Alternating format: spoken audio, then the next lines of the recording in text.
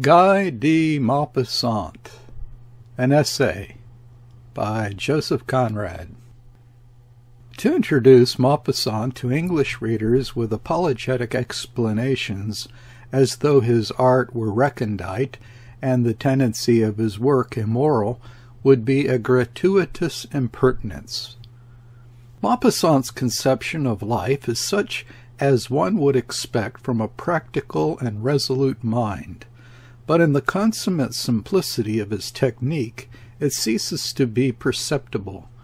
This is one of its greatest qualities, and like all the great virtues, it is based primarily on self-denial. To pronounce a judgment upon the general tendency of an author is a difficult task. One could not depend upon reason alone, nor yet trust solely to one's emotions. Used together, they would in many cases traverse each other, because emotions have their own unanswerable logic. Our capacity for emotion is limited, and the field of our intelligence is restricted. Responsiveness to every feeling, combined with the penetration of every intellectual subterfuge, would end, not in judgment, but in universal absolution. And in this benevolent neutrality towards the warring errors of human nature, all light would go out from art and from life. We are at liberty, then, to quarrel with Maupassant's attitude towards our world in which like the rest of us, he has that share which his senses are able to give him. But we need not quarrel with him violently.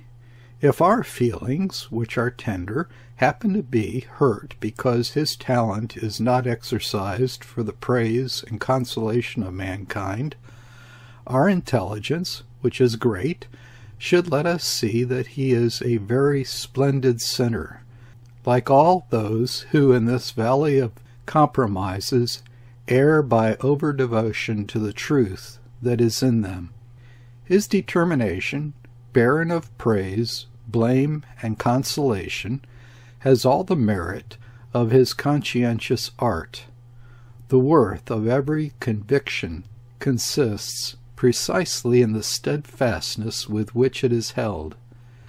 Except for his philosophy, which in the case of so consummate an artist does not matter, unless to the solemn and naive mind, Maupassant, of all writers of fiction, demands least forgiveness from his readers. He does not require forgiveness because he is never dull. The interest of a reader in a work of imagination is either ethical or that of simple curiosity. Both are perfectly legitimate, since there is both a moral and an excitement to be found in a faithful rendering of life. And in Maupassant's work there is the interest of curiosity and the moral point of view consistently preserved and never obtruded for the end of personal gratification. The spectacle of this immense talent served by exceptional faculties, and triumphing over the most thankless subjects by an unswerving singleness of purpose, is in itself an admirable lesson in the power of artistic honesty, one may say of artistic virtue. The inherent greatness of the man consists in this, that he will let none of the fascinations that beset a writer working in loneliness, turn him away from the straight path, from the vouchsafed vision of excellence. He will not be led into perdition by the seductions of sentiment, of eloquence, of humor, of pathos, of all that splendid pageant of faults that pass between the writer and his probity on the blank sheet of paper like the glittering cortege of deadly sins before the austere anchorite and the desert air of Thebaides. This is not to say that Maupassant's austerity has never faltered, but the fact remains that no tempting demon has ever succeeded in hurling him down from his high, if narrow, pedestal. It is the austerity of his talent, of course, that is in question. Let the discriminating reader, who at times may well spare a moment or two to the consideration and enjoyment of artistic excellence, be asked to reflect a little upon the texture of two stories included in this volume A Piece of String and A Sale. How many openings the last offers for the gratuitous display of the author's wit or clever buffoonery, the first for an unmeasured display of sentiment. And both sentiment and buffoonery could have been made very good too, in a way accessible to the meanest intelligence, at the cost of truth and honesty. Here it is where Maupassant's austerity comes in. He refrains from setting his cleverness against the eloquence of the facts. There is humor and pathos in these stories, but such is the greatness of his talent, the refinement of his artistic conscience, that all his high qualities appear inherent in the very things of which he speaks, as if they had been altogether independent of his presentation. Facts, and again, facts are his unique concern. That is why he is not always properly understood. His facts are so perfectly rendered that, like the actualities of life itself, they demand from the reader the faculty of observation, which is rare, the power of appreciation, which is generally wanting in most of us who are guided mainly by empty phrases requiring no effort, demanding from us no qualities except a vague susceptibility to emotion. Nobody has ever gained the vast applause of a crowd by the simple and clear exposition of vital facts. Words alone, strung upon a convention, have fascinated us as worthless glass beads strung on a thread have charmed at all times our brothers, the unsophisticated savages of the islands. Now Maupassant, of whom it has been said that he is the master of the mot juste, has never been a dealer in words. His wares have been, not glass beads, but polished gems, not the most rare and precious, perhaps, but of the very first water of their kind. That he took trouble with his gems taking them up in the rough and polishing each facet patiently, the publication of the two posthumous volumes of short stories proves abundantly. I think it proves also the assertion made here that he was by no means a dealer in words. On looking at the first feeble drafts from which so many perfect stories have been fashioned, one discovers that what has been matured, improved, brought to perfection by unwearied endeavor is not the diction of the tale, but the vision of its true shape and detail. Those first attempts are not faltering or uncertain in expression. It is the conception which is at fault. The subjects have not yet been adequately seen. His proceedings was not to group expressive words that mean nothing around misty and mysterious shapes dear to muddled intellects and belonging neither to earth nor to heaven.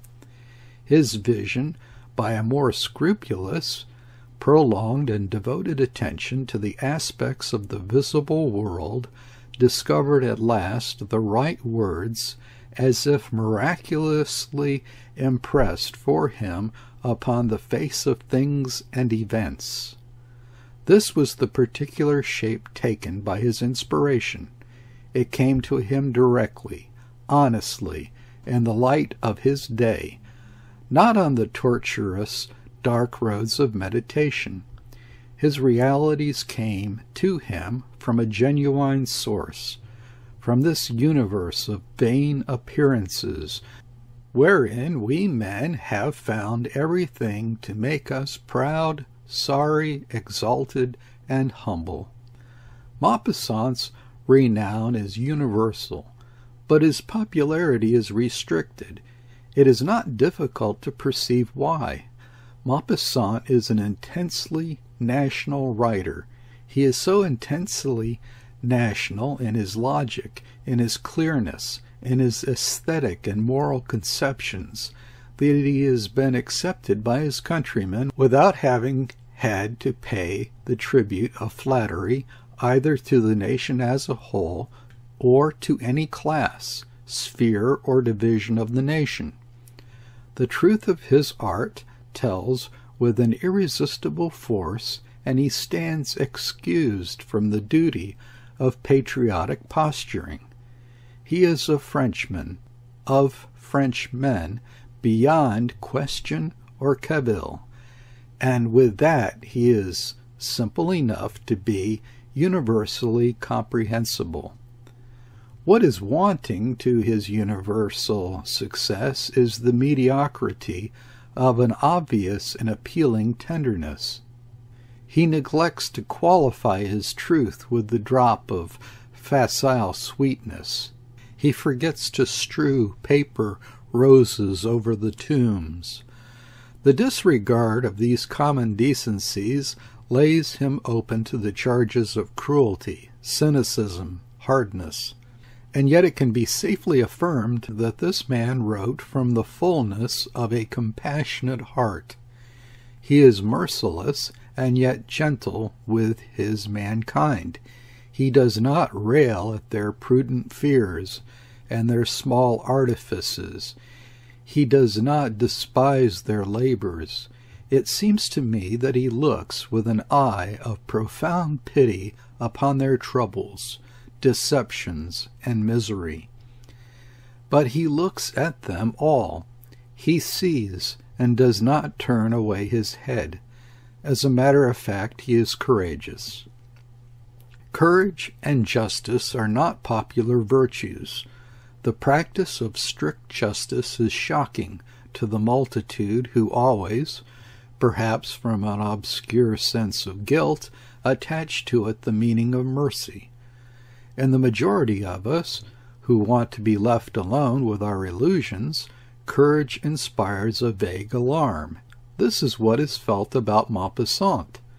His qualities, to use the charming and popular phrase, are not lovable. Courage being a force will not masquerade in the robes of affected delicacy and restraint. But if his courage is not of a chivalrous stamp, it cannot be denied that it is never brutal for the sake of effect. The writer of these few reflections, inspired by a long and intimate acquaintance with the work of the man, has been struck by the appreciation of Maupassant manifested by many women gifted with tenderness and intelligence. Their more delicate and audacious souls are good judges of courage. Their finer penetration has discovered his genuine masculinity without display, his virility without pose. They have discerned in his faithful dealings with the world that enterprising and fearless temperament, poor in ideas but rich in power, which appeals most to the feminine mind. It cannot be denied that he thinks very little. In him, extreme energy of perception achieves great results, as in men of action, the energy of force and desire his view of intellectual problems is perhaps more simple than their nature warrants. Still, a man who has written Yvette cannot be accused of want of subtlety. But one cannot insist enough upon this, that his subtlety, his humor, his grimness, though no doubt they are his own, are never presented otherwise but as belonging to our life, as found in nature, whose beauties and cruelties alike breathe the spirit of serene unconsciousness. Maupassant's philosophy of life is more temperamental than rational. He expects nothing from gods or men. He trusts his senses for information and his instinct for deductions. It may seem that he has made but little use of his mind, but let me be clearly understood. His sensibility is really very great, and it is impossible to be sensible unless one thinks vividly, unless one thinks correctly, starting from intelligible premises to an unsophisticated conclusion. It may be remarked that it does not differ very greatly from the ideal honesty of the respectable majority, from the honesty of lawgivers, of warriors, of kings, of bricklayers, of all those who express their fundamental sentiment in the ordinary course of their activities by the work of their hands. The work of Maupassant's hands is honest. He thinks sufficiently to concrete his fearless conclusions in illuminative instances. He renders them with the exact knowledge of the means and that absolute devotion to the aim of creating a true effect, which is art. He is the most accomplished of narrators.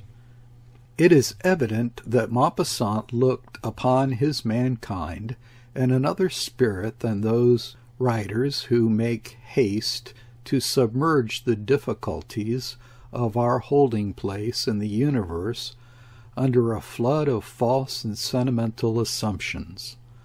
Maupassant was a true and dutiful lover of our earth. He says himself in one of his descriptive passages, It was true. The earth had for him a compelling charm. He looks upon her august and furrowed face with the fierce insight of real passion his is the power of detecting the one immutable quality that matters in the changing aspects of nature and under the ever shifting surface of life. To say that he could not embrace in his glance all its magnificence and all its mystery is only to say that he was human. He lays claim to nothing that his matchless vision has not made his own. This creative artist has the true imagination. He never condescends to invent anything. He sets up no empty pretenses, and he stoops to no littleness in his art, least of all to the miserable vanity of a catching phrase.